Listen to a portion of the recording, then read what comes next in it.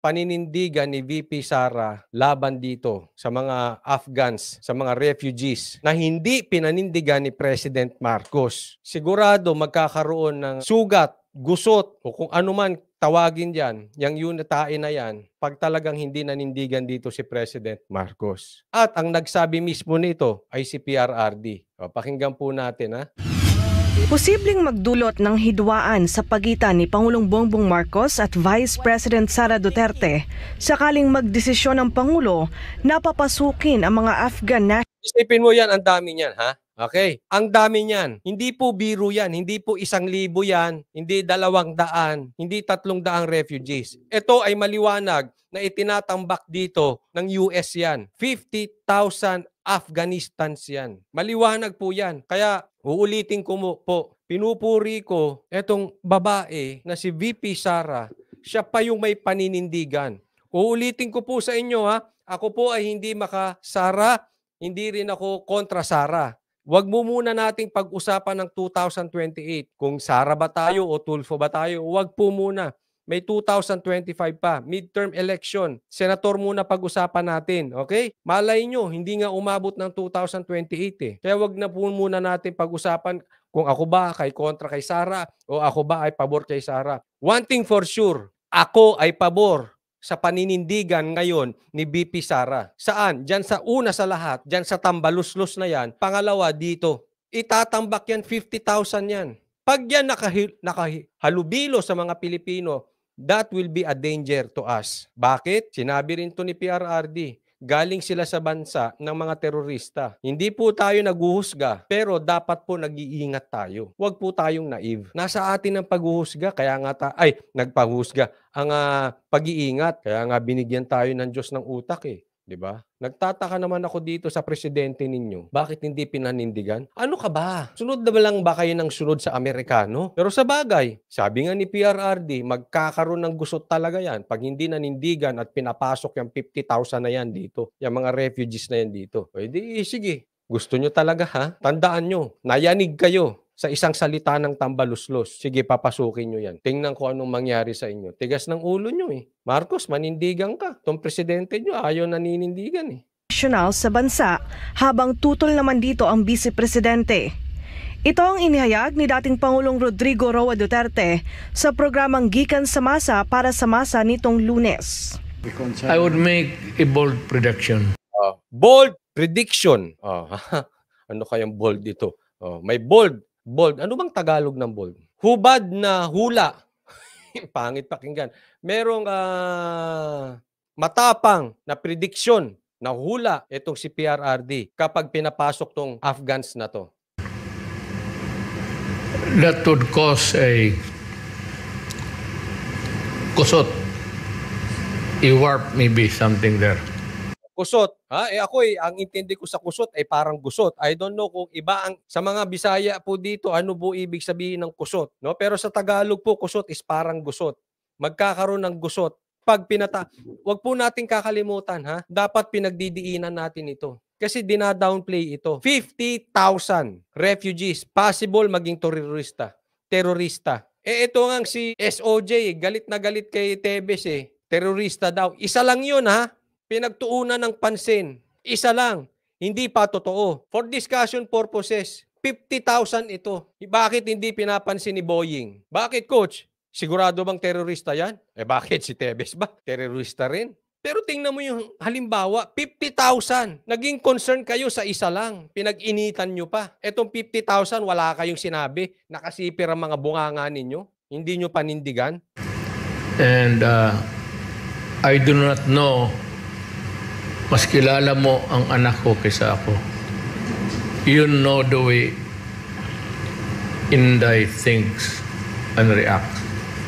Una nang nagpahayag ng pagtutol si Vice President Sara sa hiling ng Estados Unidos na tumanggap ang Pilipinas ng 50,000 Afghan refugees. Hiling ba yun o command? Hindi ko alam eh. Parang kino-command na tayo ng US eh. Alam mo, nang dahil dyan sa presidente nyong si Marcos, sunod-sunuran tayo mga Pilipino. Tinan mo, itatambak sa atin yan. Pambihira kayo talaga. Ay, asa ng paninindigan. Dahil ito anyay banta sa ating seguridad at soberanya.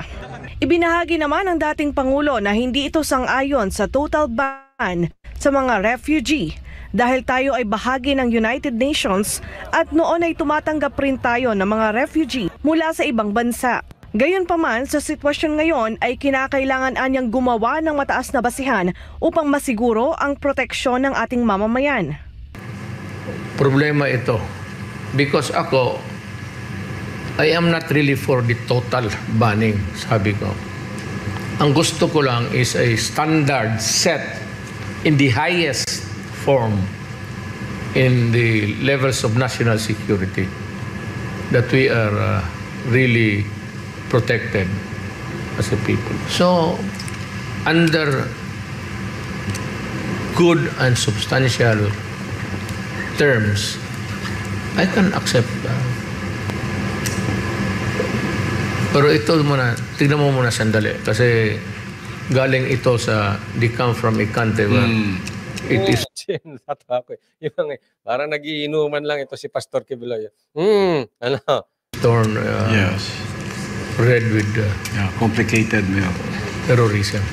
Galing ito, mag-iingat tayo. Galing ito sa bansa na connected sa terrorism. Again, hindi po ito panghuhusga. Pero wag naman tayo magpaka-naive. Mga Afghanistans po ito. At higit sa lahat, napakadami. Tapos, ipinapasok sa atin ng Amerika. Ano ba gusto talaga ng Amerika? Gera. Ano ba gusto talaga ng Amerika? Hawakan tayo sa liig at gamitin tayo para sa gera. Marcos naman, gising po kayo presidente nyo. Gising po. Bakit po ito nakikita ni PRRD? Nakikita po ito ni Vice President Sara. Hindi nyo po makita. Hindi po tuloy maalis sa isipan ng taong bayan na kayo ay may agenda, na kayo ay sunod-sunuran at kayo ay tuta ng Amerika. Ulitin ko, hindi po tayo nagbibintang o naniniwala. Hindi ko po sinasabing ganoon. Pero sa mga galawan yung ganyan, hindi natin masisisi ang taong bayan kung sila ay mag-isip na kayo po ay tuta ng Amerika. Panindigan po natin ang mga Pilipino. Sila po ang naghalal sa inyo. Sila man o Smart Magic, I don't know. Pero dapat ang inyong pinaninindigan ay Pilipino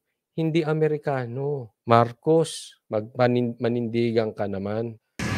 Sa kabilang banda, naniniwala si dating Pangulong Duterte na seguridad ng ating bansa ang iniisip ni Vice President Sara kaya ito tutol sa pagtanggap ng mga Afghan refugee. He is uh, projecting something that uh, things will not be good for us to be hosting uh, guys from Afghanistan, which has been rocked with insurgency problems, particularly terrorism. And there's no guarantee that it is America who are now vetting for them or vetting and asking to be accepted is the correct and sure excuse in the matter of waiving our right against the, the entry of nationals.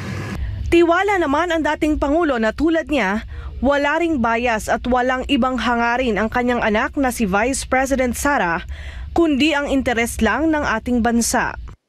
Uh, I'm sure that yung kay Inday, it's always, uh, lalo na sa mga bata, you know, she is the Secretary of Education. And anything that will contaminate the young uh, in terms of violent ideology or foreign uh,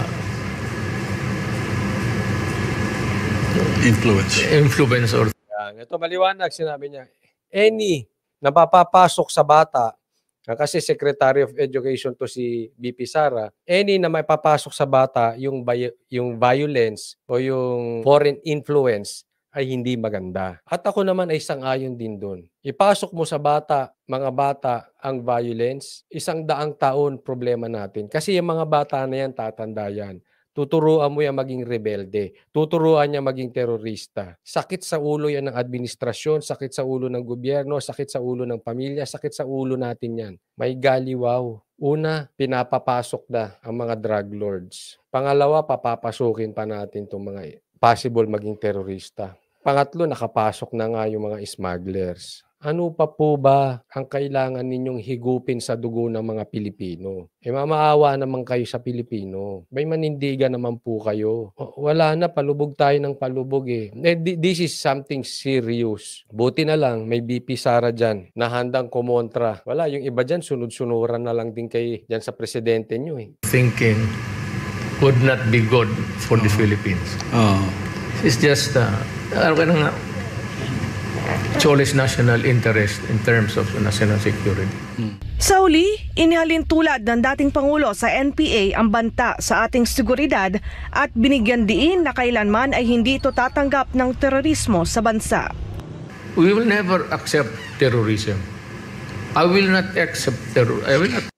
Sino ang tatanggap ng terorista? Wala. Ewan ko kay President Marcos. Yan sa presidente ninyo. Grabe. Alam mo, kung ito ay matuloy at nagkagulo, isipin mo ha, humina ng NPA dahil namatay yung kanilang leader. Papasukan natin ng panibagong terorista. Pag nagkagulo sa Pilipinas at maraming namatay at maraming mapatay, dahil sa mga suicide bombers, sa mga terorista, etc., gawa nitong pinapasok nyo itong mga Afghan refugees. Dala-dala mo yan hanggang sa kabilang buhay. May singil po yan. The blood, yung dugo na aagos dahil sa kapalpakan ng desisyon ninyo dahil pinapasok nyo ang mga Afghan refugees ay nasa kamay mo. The blood, yung dugo na mapapatay will be forever sa kamay mo, President Marcos. Kung ito ay mangyari, dagdagan pa natin yung mga madadamay sa EDCA, yung mga sundalong mamamatay dahil tayo ay nakisawsaw sa gera. Pinapasok nyo ang EDCA, pinapasok nyo ang Amerika. Ngayon, papapasukin yung Afghanistan.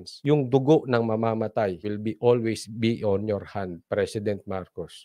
Kung hindi nyo mapapanindigan ito, kaya nyong dalhin sa konsensya ninyo. Ewan ko. Matatandaan natin, ang buhay natin dito sa lupa hanggang isang daan lang maximum. Pero yung mga ganitong pagkakamali, dala natin yan hanggang sa kabilang buhay. Mag-iingat po tayo. Sabi ni Lilia, tanga na lang si BBM kung hindi niya nakikita magiging epekto ng mga refugee na ito. Oh, ito ay strong word, no? Ay, siguro naman hindi tanga.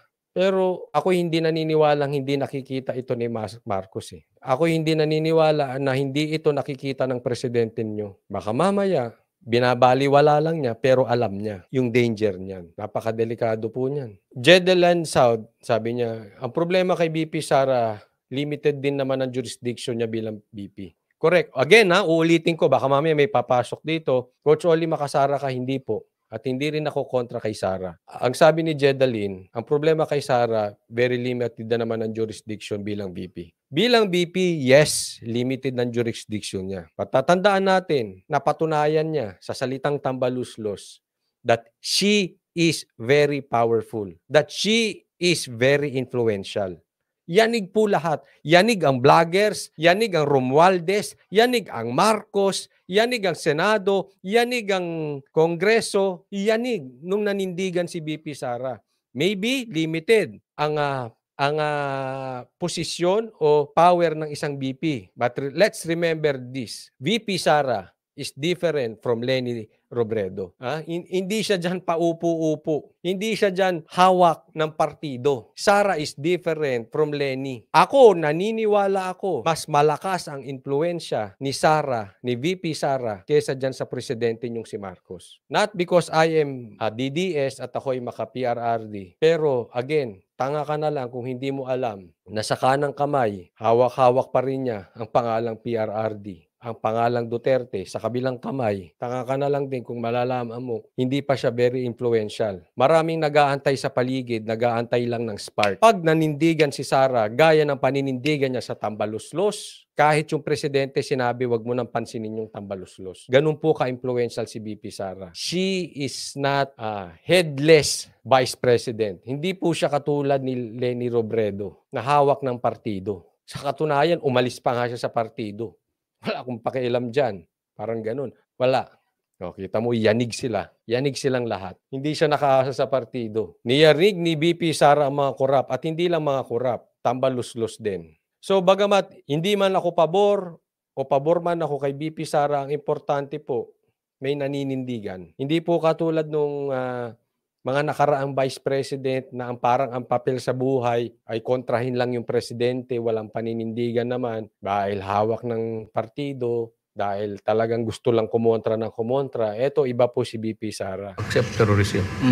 I cannot understand criminals Para sa Diyos at sa Pilipinas Grabe oh, kung papapasukin natin yan. Hindi ko naman alam, maintindihan ko anong nasa utak nitong Amerika. Alam mo, parang ah, gustong gawing tuta ng Amerika ang Pilipinas eh. Parang gusto tayong hawakan sa liig. Good thing, napahinga sila ng anim na taon. Hindi sila nakaporma kay PRRD. Alam mo, wala po itong pinagkaiba sa ano. Yung mga addictus, yung mahilig sa pulburon, yung mahilig sa pulbos, takot kay PRRD.